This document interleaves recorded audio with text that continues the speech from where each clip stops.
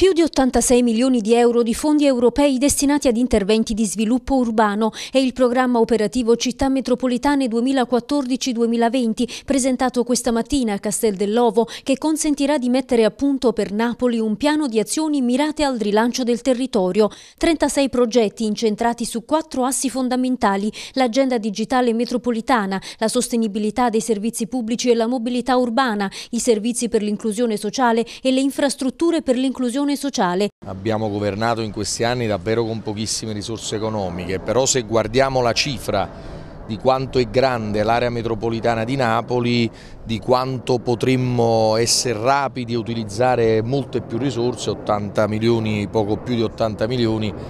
è sicuramente una goccia, è una goccia che però noi facciamo diventare significativa per servizi strategici, dalla digitalizzazione al risparmio energetico, alla mobilità, al diritto all'abitare, alla solidarietà, all'inclusione sociale.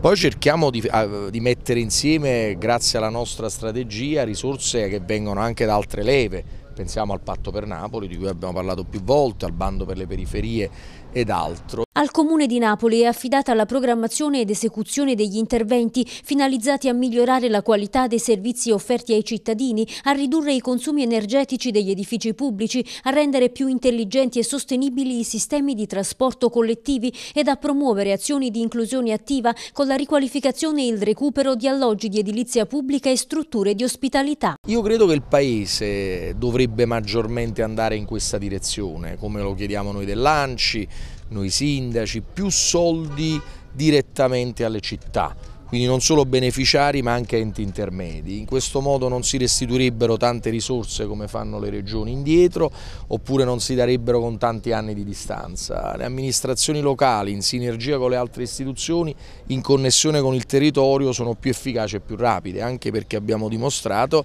che questi progetti vengono decisi attraverso un dialogo forte con gli abitanti della città cosa che non avviene quando si chiude, ci si chiude in alcune stanze e si fanno delle volte delle progettazioni che non servono a nulla eh, su progetti che non servono poi ai territori, come si è visto con tante opere pubbliche